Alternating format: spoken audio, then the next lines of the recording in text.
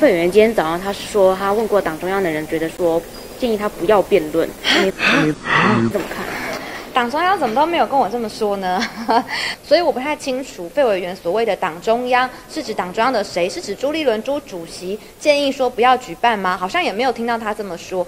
之前您有提出这个想要跟费委员辩论嘛？嗯那费委员今天早上他说，他问过党中央的人，觉得说建议他不要辩论，你怎么看？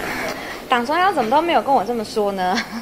所以啊、我很意外，因为嗯，辩论我觉得是在民主制度里面一个很能够凸显君子之争，以及呢两两者之间不同路线跟风格的一个活动哦。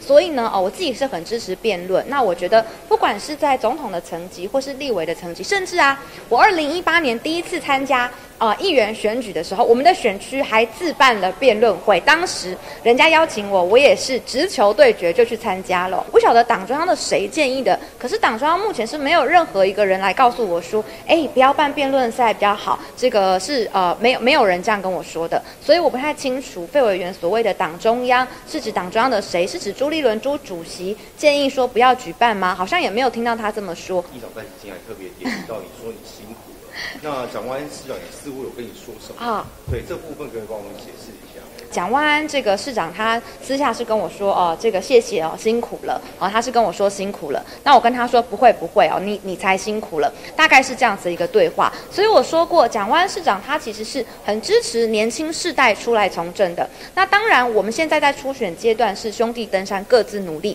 但我相信蒋万安市长支持年轻人出来参选，支持让国民党开拓年轻跟中间选票市场的这这样子的初心是不会改变的。